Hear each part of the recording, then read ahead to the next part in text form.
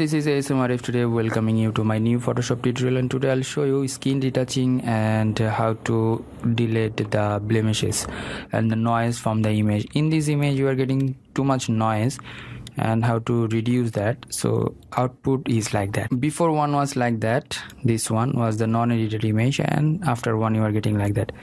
So what I have done here let's see. Here I have done lots of things. Uh, not really lots of things but uh, some things uh, which is for the plugins and other stuff. So at first I have done the skin smoothing that is with the skin finer and I have another detailed video of the skin finer. If you want to get that video link please check out my video description. And then I just got the skin that is the uh, dodge and burn. I just applied here the light portion and the preset as well. And then here the eye enhancement and then the color of the eyebrows. And here the color lookup another color lookup of this. And then again I just got the light of the face. So after that I used a preset from the Nik collection, uh, the another filter, and finally got that. So I used here three or four steps or three or four types of techniques, and which will make your photography ultimately good. So this one was the non-edited, and after one you are getting this one. So if you are new in my channel, please do subscribe and hit the bell icon for the new notifications. And let's start the tutorial. Here I'll go to the file and open up at first this one I'll import this one and open it up in my Photoshop panel here. So after that I'll make copy by pressing ctrl J for the backup layer. And here I'll use at first the smooth skin that is the filter with the filter. Here the filter and the photo rule box and skin finer. If you want to get the download link and the full video of the skin finer detailed video actually i have another video tutorial. You can watch that out and i'll give you that link in my video description.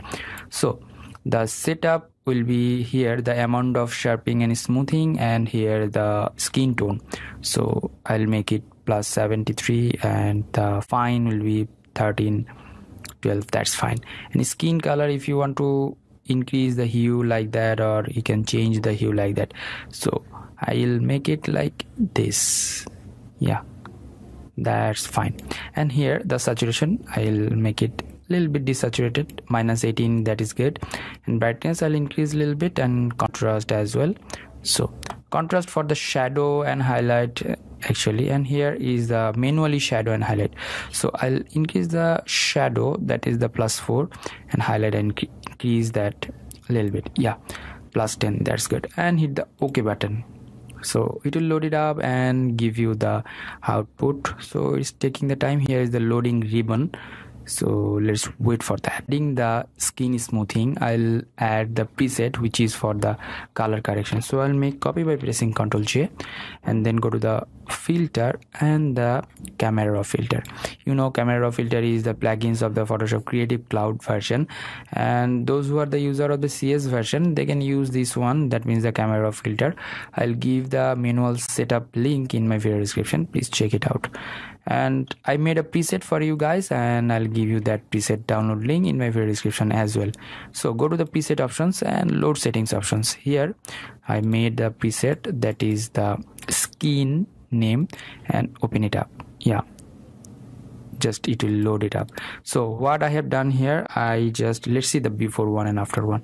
So before one was like that and i just made the color correction like that. So and let's see or let's check it out what i have done here. So let's see the settings. Here in this panel uh, the basic panels i just add some shadow. And here the tone blue tone i just tone curve i just made it like that. Here is the spot and here is the point lock point. And green portion i just made it like that. And red portion this one like that. And from here i just added the amount of sharpening a little bit. You can use that. And the luminance as well. And the here i use this thing that is for the noise reduction. And i use the color luminance. You can use that. And the color smoothness.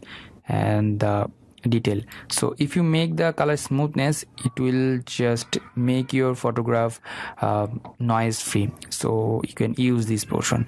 And luminance of noise reduction as well.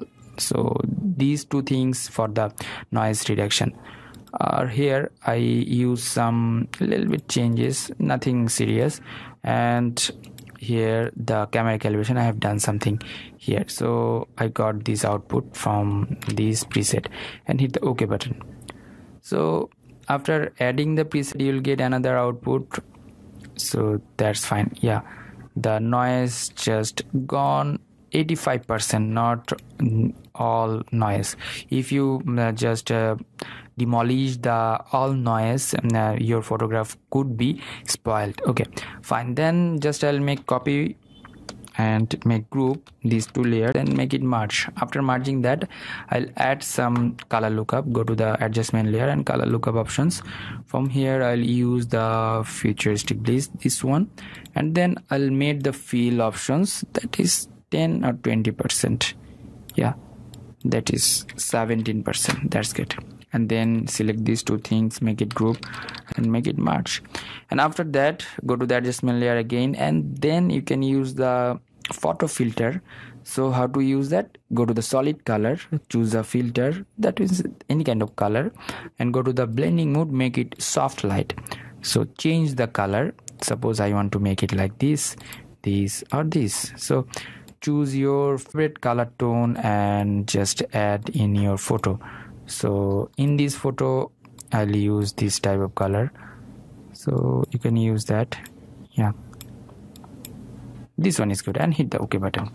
And then select these two things. Make it group and make it merge. Now i will increase the shadow and highlighting. That is the dodge and burn option. So press ctrl j and j. Two things. Two layers actually. So one is for the highlight. Another one is for the shadow so I'll turn the shadow layer off and select the highlight layer and go to the blending mode make it like screen mode. So after that go to the right press blending options. From here here is the underlining layer and find out the highlight area of the face. Yeah I got it. And then yeah that's fine. And press the alter button and select here. The slider will divide and adjust the light with this face. So yeah that's good and that's fine. And hit the ok button. And then here is the mask option mask it. And here is the image options and go to the apply image options and hit the ok button. So after that select this layer. That means turn it on the shadow layer and go to the multiply blending mode and right press blending options and here is the underlining layer and I'll get the shadow from this layer. Divide the slider and adjust the light shadow with that and hit ok. So after that mask it and go to the image and apply image. So in this case I'll make it invert and hit ok. So I'll got two layers H and A then I'll make it group shadow and highlight actually and make it mask. And then image again apply image. So in this case I'll make it just uncheck the invert option and hit ok. So you'll get the subtle change of your image. The shadow and highlight is prominent here. So select these two layers make it group and make it merge after merging that I'll go to the filter that is the Nik collection. I'll add another effects actually. So Google Nik collection is another plugins and if you want to get the download link of this Google Nik collection please check out my video description. I'll give that link in my video description. So always I do give the stock files and other plugins downloading in my video description. So you should check it out my video description for the stocks and other uh, resource file okay fine. Here a bunch of presets and other like filters. So from here i'm using the cross processing and lots of methods over here. You can use one of them. So which one is perfect for your photography you have to define or you have to choose it out. So i'll use here l03 and here is the strength option. I'll make it 35 percent. Okay you can use as your own photograph like that. That's fine. And here is the opacity and shadow and highlight. If you need you can change it out. Uh, in this case i'm not changing this out. And hit ok. So it will take time to load it up and give you the output. So this one is like a heavy type of plugins. And uh, the it depends on the pc configuration. Is if your pc configuration is not high don't use these plugins just because of it will make your pc super slow.